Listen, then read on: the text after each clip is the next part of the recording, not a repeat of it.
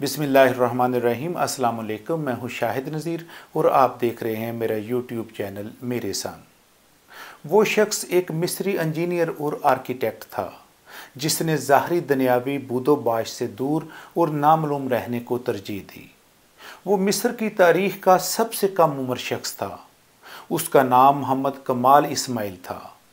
मोहम्मद कमाल इस्माइल 13 सितंबर 1908 को मिस्र में पैदा हुआ। और 2 अगस्त 2008 को 100 साल की उम्र में काहरा में फोत हुआ। वो रॉयल स्कूल ऑफ़ इंजीनियरिंग का सबसे कम उम्र तालब इलम था। उन्होंने वहाँ से ग्रेजुएट डिग्री ली, जिनको यूरोप से इस्लामिक आर्किटेक्चर में डॉक्टरेट की तीन डिग्रियाँ लेने के लिए भेजा गया। वो सबसे कम उम्र नौजवान थे, जिसको बादशाह से नायल स्कार्फ और आयरन का खिताब मिला। वो पहले इंजीनियर थे जिन्होंने हरमैन शरीफैन के तसी मनसूबे की तमीर और अमल दरामद के लिए इख्तियार संभाले। उसने शाह फाहद और बिन लादन कंपनी के बार बार इसरार के बावजूद इंजीनियरिंग डिज़ाइन और आर्किटेक्चरल निगरानी के लिए किसी किस्म का मुआवजा लेने से इनकार कर दिया। और कहा, मैं दो मुकदस मसाजिद के कामों के लिए क्यों मुआवजा लूँ? और बरोज़ क़्यामत अल्लाह ताला का कैसे सामना करूँगा? उसने चवालीस साल की उम्र में शादी की। अल्लाह ने उसे बेटे जैसी नेमत से नवाजा और उसकी बीवी दौरान जचगी फोत हो गई। उसके बाद वो मरते दम तक अल्लाह की इबादत में मसरूफ़ रहा। उसके बाद उसने अपने आप को दुनिया के सामने ज़ाहिर नहीं होने दिया और गुमनाम रहकर हरमैन शरीफैन की खिदमत की। उस अजीम आदमी की हरमैन शरीफैन में नस्ब किए गए सफ़ेद पत्थर की भी बड़ी दिलचस्प कहानी है। ये वो पत्थर है जो हरम की छत और सहन में लगा हुआ है। इसकी खसूसियत ये है कि ये गर्मी को जज़ब करके फर्श की सतह को ठंडा रखता है। ये पत्थर एक मुल्क ग्रीस में एक छोटे से पहाड़ में दस्तियाब था। उस पत्थर के लिए वो ग्रीस गए और हरम के लिए उन्होंने काफ़ी मकदार में पत्थर खरीदा। हरम की मकदार को पूरा करने के लिए उन्होंने तकरीबन आधा पहाड़ खरीदा। फिर उस सफ़ेद पत्थर को मक्का लाया गया और हरम में पत्थर की तनसीब मुकम्मल कराई। इस तनसीब के बाद, तकरीबन पंद्रह साल बाद, सऊदी हुकूमत ने ऐसा ही पत्थर मस्जिद नबवी में नस्ब करने के लिए मोहम्मद कमाल इस्माइल से कहा। इंजीनियर मोहम्मद कमाल को जब बादशाह ने मस्जिद नबवी में वैसा ही मार्बल लगाने को कहा तो वो बहुत परेशान हुआ। क्योंकि कुरय अर्ज़ पर वाह जगह ग्रीस ही थी, जहाँ ये पत्थर दस्तियाब था, जो कि आधा पहाड़ तो वो पहले ही खरीद चुका था। इंजीनियर मोहम्मद कमाल बताते हैं कि वो ग्रीस में उस कंपनी के चीफ एग्जेक्टिव के पास गए। उस चीफ एग्जेक्टिव को मिले और उस सफ़ेद पत्थर के बारे में पूछा, जो बकाया मकदार में बच गया था।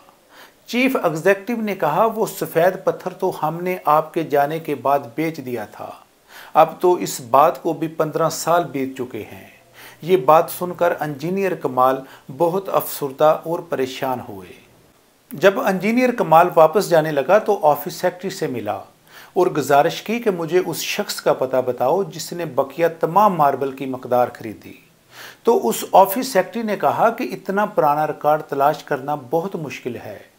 ऑफ़िस सेक्रेटरी ने कहा कि आप मुझे अपना फ़ोन नंबर दे दें, अगर उसका पता चला तो मैं आपको इन्फॉर्म कर दूँगी। इंजीनियर ने अपना फ़ोन नंबर और होटल का पता दिया। फिर इंजीनियर ने सोचा, मुझे क्या पड़ी है कि मैं उस शख्स को ढूंढता फिरूं जिसने ये पत्थर खरीदा है।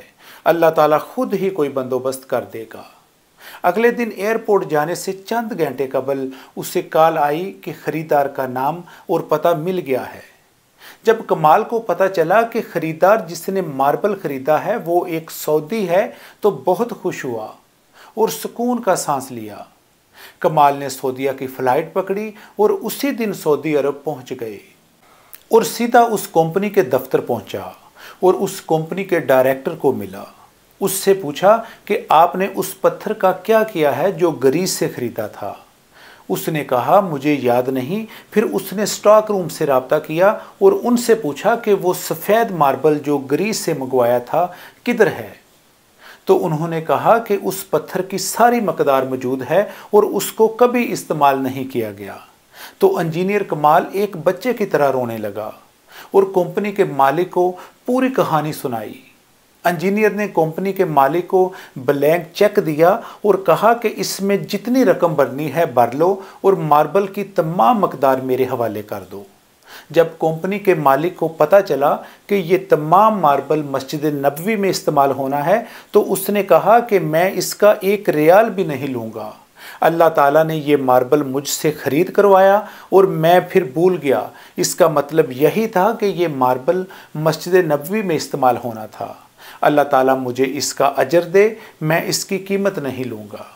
नादरीन अगर आपको मेरी वीडियो अच्छी लगे तो मेरे चैनल को सब्सक्राइब करें, लाइक करें और कमेंट करें। नेक्स्ट वीडियो तक अल्लाह हाफिज़।